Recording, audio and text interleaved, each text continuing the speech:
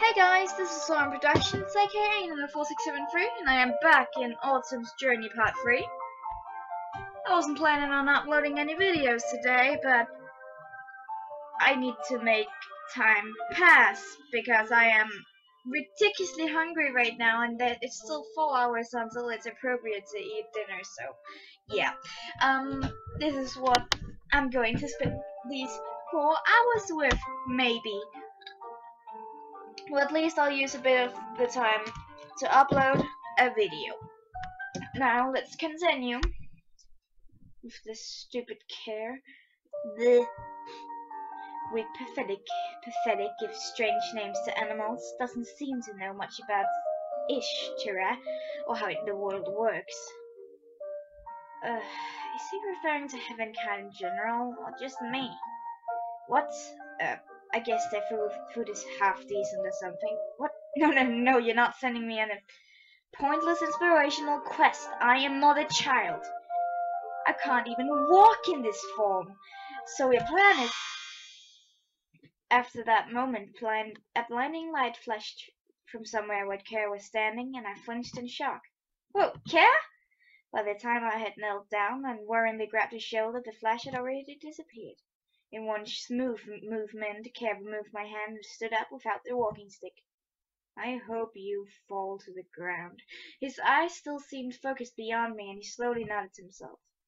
Um, did your powers return or something? He extended his palm and lunged forward as the uh, the ground slamming it against the hard stone. The entire cave shook, the tremor visibly and mental and meant mentally shook me as well as my heart, heart, hound, heart pounded loudly. My hound pounded loudly. Jeez, my heart. I felt so paralyzed that I couldn't even scream.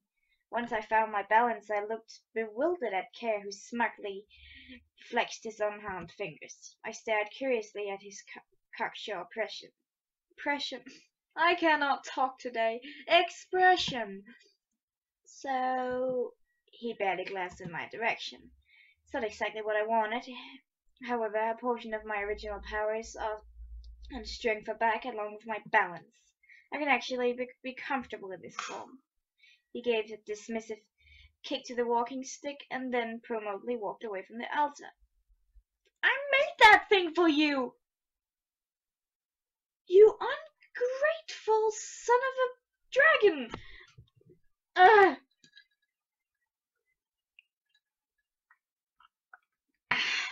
Jeez. Can we just leave him now? He'll he'll be fine on his own. We don't need to follow him around. I know that's what's going to happen, but please let's just leave. Please. I mustered a small smile. Well, that's promising at least. Why are you so happy? Be angry. what will you do next? Do what he ordered me to do and become normal again. I can handle this on my own. Ah so you don't need to follow me. I was not intending to. Get out of my sight. I had to anyway. There is, there were no one, there were only way one way out of the, that cave. But as soon as we were in the open air, Kerr took off running with a grace and speed.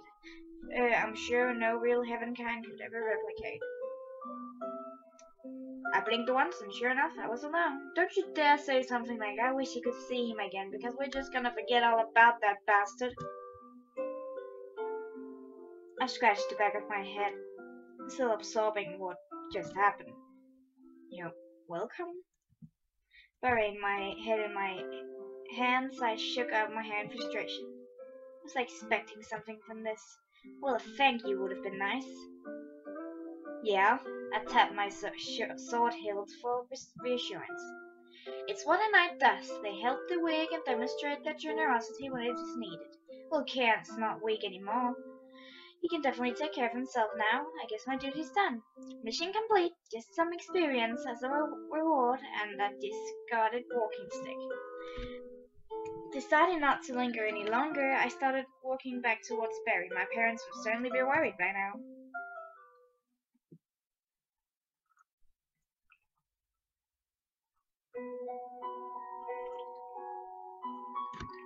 Chapter 2, welcome back. Alright.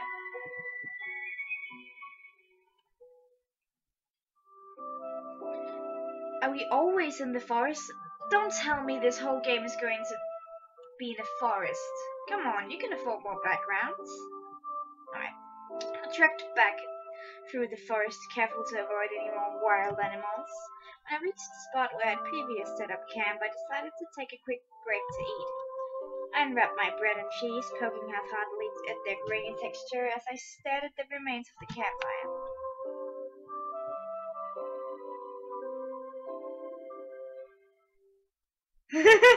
What's that? What are you doing? What are you doing here?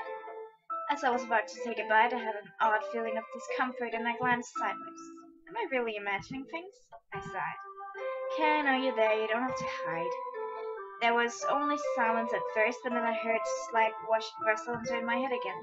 Seriously, you just moved to another location. I hope you I hope you weren't going to wait until I was asleep to steal my stuff. I wasn't planning to do, any, to do anything like that.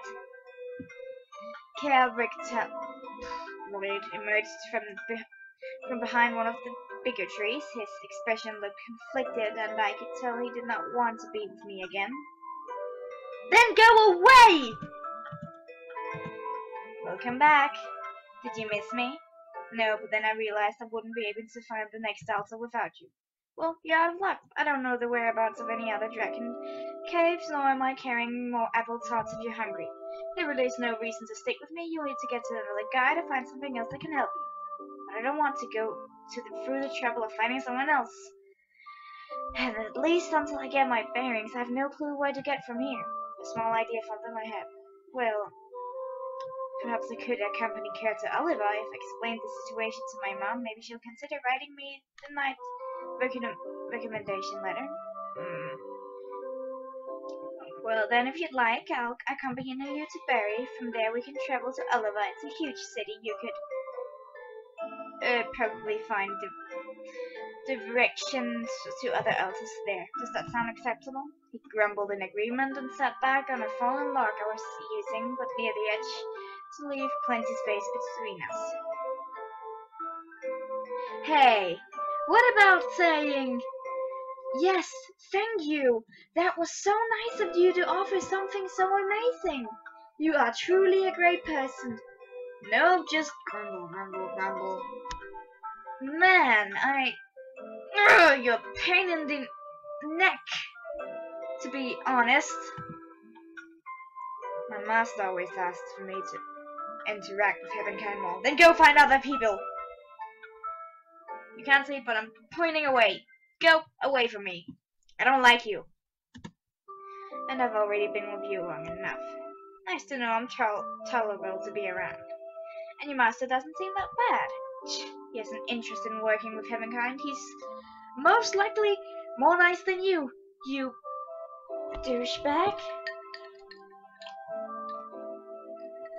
Oh, jeez. I guess he didn't like it, but one of, one of his pupils didn't share his point of view. I grinned wryly.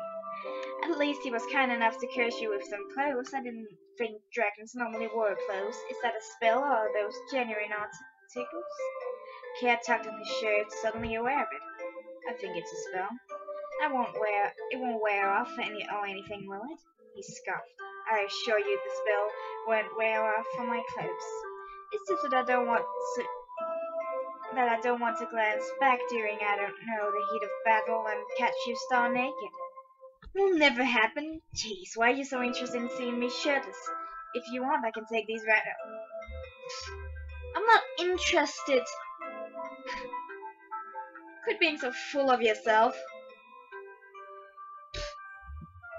Please no, I trust the magical substantiality of those clothes, so please keep them on. Besides, you'll stay warmer that way. Is this why heaven haven't wear them? Something like that. I pulled off some bread and popped it into my mouth. Kerr watched briefly with interest before hauntingly averting his eyes. Let me guess, you're hungry as well. Heaven can consume, but I don't think I can eat what I normally would. As he pursued his lips, I handed him the rest of the bread. He arched his eyebrow in surprise at the offer. It's fine, I had a small breakfast and I'll be back in very soon. Without bothering to inspect like he did with the apple tart, Kerr crammed the bread into his mouth. I stifled a laugh since I had a feeling dragons have no concept of cheering. He's smiling. Well, you're not gonna charm me, you asshole.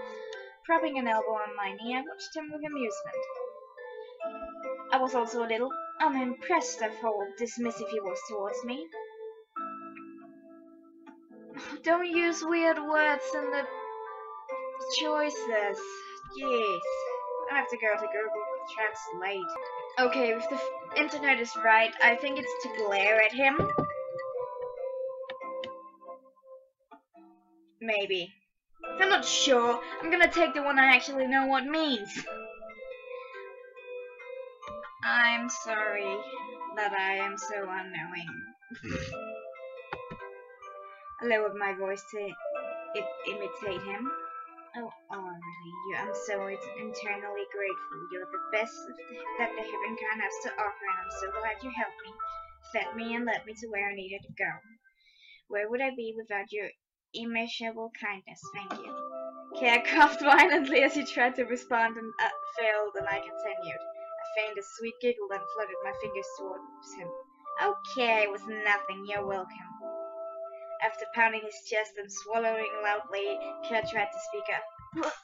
Before I could start, I shoved, stuffed uh, the last portion of cheese into his mouth. I kept my hand there and we changed a meaningful look. He doesn't like the cheese.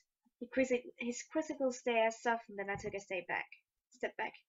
It's nothing. You finish eating. I'm going to take a quick walk. I stalked off before I could answer. I approached the riverside. Oh, new background. This is beautiful. And crouched down and splashed my face with water, rubbing my forehead and cheeks. Then I inhaled deeply and ruffled my hair, careful not to snag on my braid. Um, maybe I shouldn't have done that.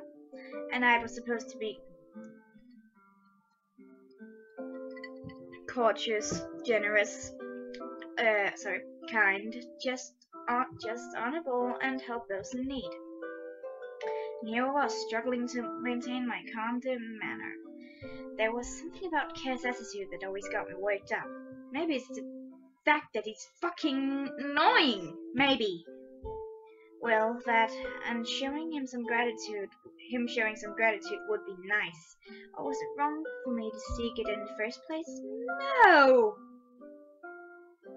You did a fucking lot for that guy. Without you, he would be completely lost.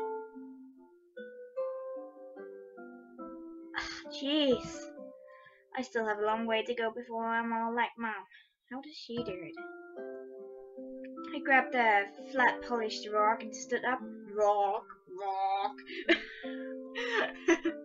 rock and stood up, throwing and catching it a few times while I pondered what to do next.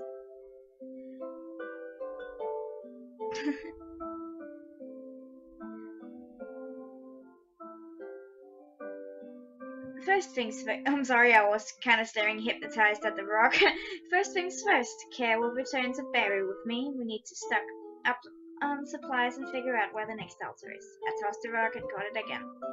Does he expect me to travel with him the whole time, or just until Oliver? I wonder if I'm mentally prepared for this.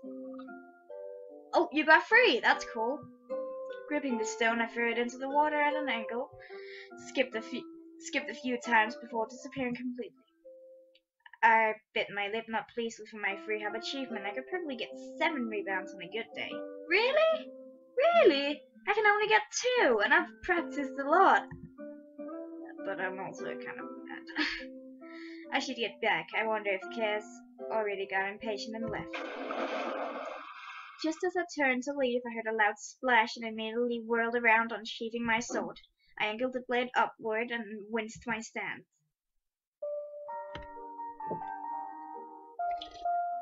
Oh my. It's a beautiful water dragon. It, it looks like he's dancing. Woo! I'm sorry. Kinda ruined the moment there. I have to end the episode here. I'll see you in the next one. Bye.